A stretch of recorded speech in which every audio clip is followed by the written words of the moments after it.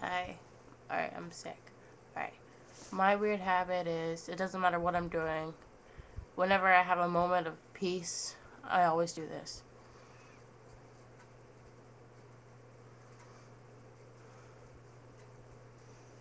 Yeah.